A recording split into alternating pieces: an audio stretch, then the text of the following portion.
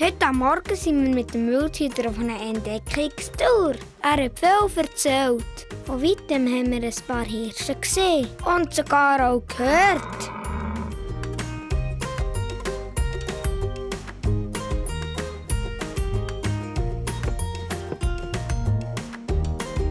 Mit dem Bändchen sind wir dann hoch in die.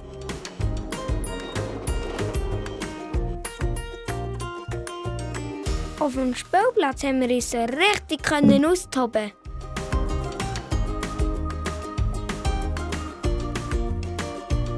Da haben wir auch ganz viel über das Moor gelernt und verschiedene Sachen können anlängen. Mit den Händen und mit den Füßen.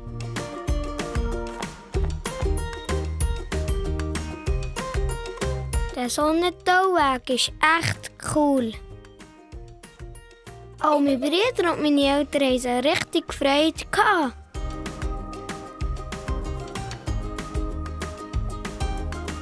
Das alles hat fest Hunger gegeben. Wir sind sogar in zwei Restaurants. Mmm, das war so fein. Das war ein super Tag im Entli-Buch.